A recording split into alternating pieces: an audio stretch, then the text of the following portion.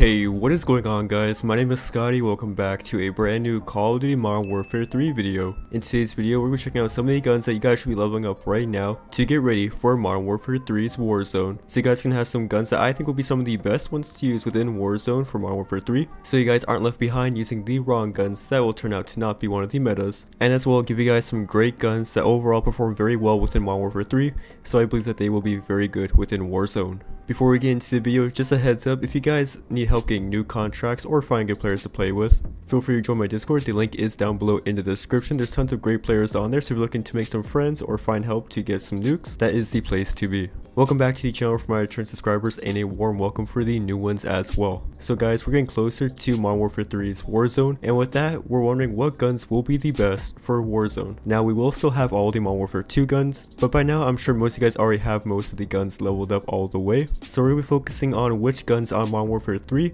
are the ones that you guys should probably be leveling up the most right now, especially for the ones who can't play the game that much, maybe they have a full-time job, families, and stuff like that. Using that limited time to level up these guns might help you save some time so you can get right into Warzone and have a good time playing.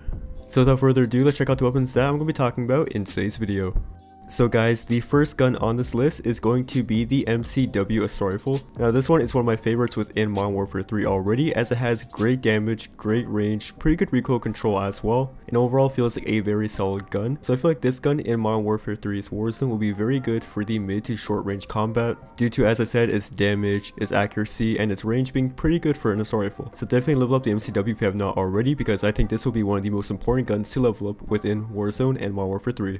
The second gun on this list will also be an assault rifle and this one is the SVA 545. This one is a little harder hitting than the MCW and has pretty good recoil control and great damage and range. This one I think will be better for the mid to mid long range as it does pack quite a bit of a punch and as well has very exceptional range and pretty good recoil control as well. The SVA545 is definitely one that I think will be one of the most important guns to use within Warzone on Modern Warfare 3 so I do believe that you guys should be leveling up this gun as well as I do think it will be one of the best ones within Warzone. The third gun on this list is an SMG and that one is the Wasp 9.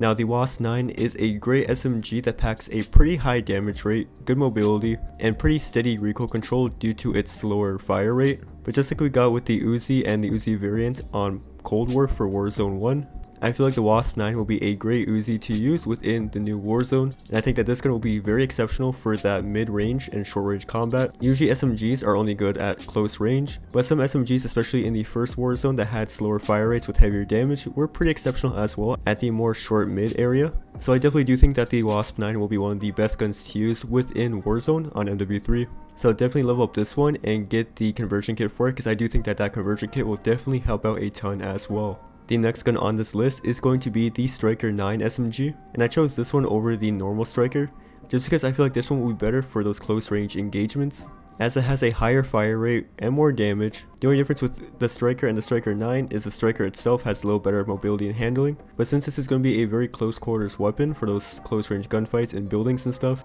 I think the Striker 9 will be one of the best ones for those very close encounters in those close quarter combat scenarios. I think this one definitely stands out as probably going to be one of the best SMGs that we'll have for Warzone, so definitely level up the Striker 9 if you have not already, because I think this will be one of the best close range weapons we have for Warzone in MW3. The next gun we have on this list is the Holger 556. Now you can choose either this one or the LMG variant of it, the Holger 26, as they're both pretty similar in my opinion. But the Holger 556 is kind of like that mid-range between LMG and AR as it's a very heavy rifle with its great damage and range and pretty good accuracy as well. This gun is definitely going to be one of those ones that will be very exceptional for the more longer range gunfights, especially if you can control your aim properly and control the recoil. I feel like this gun could be absolutely brutal in the right hands with the right attachments and build.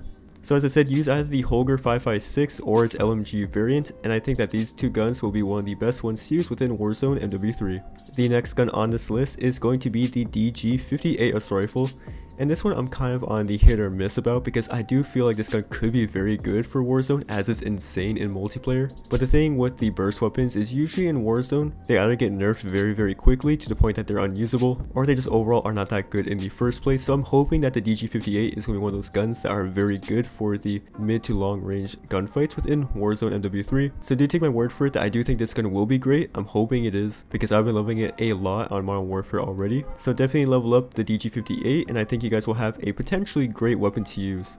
Now to talk about the pistols, I think every single pistol will have its own uses within Warzone, as the COR-45 will be just a great sidearm if you have it built right, the Renetti will be more of an aggressive one due to its fire rate, and as well the TYR will be pretty good as well as it's one of those ones that have a very very high damage rate but pretty low fire rate as well. It does come with snake shot rounds, so I'm not sure how exactly that'll perform within Warzone as snake shots are usually broken, but I would definitely level up the TYR just in case because I do feel like there is a chance that the TYR could be an insane weapon, especially with the snake shots. So here we have it guys, these are some of the guns that you should be leveling up right now for Warzone MW3. Now of course there are a lot of other guns I could mention, but I feel like these ones will be the best one as a more aggressive player. If you guys think that there's other guns that will be good for Warzone, definitely let me know down in the comments and make sure you guys level up those guns as well, don't only stick to my category and lists. Level up the guns that you think will be good so you can go into the game with some weapons that you think will be pretty good. Now as Warzone does come out, I'll be making a list of the actual best guns to use within Warzone, so definitely stay tuned for that. This is all theory and speculation. Once the game fully comes out, I'll have an actual video out for that. But that's gonna wrap it up for today's video guys. If you guys did enjoy today's video, you're always welcome to hit that like button and subscribe to the channel too so you never miss out on a future Call of Duty video here on the channel. With all that said and out of the way, hope you guys once again enjoyed the video. My name is Scahty, take care, and thanks for watching.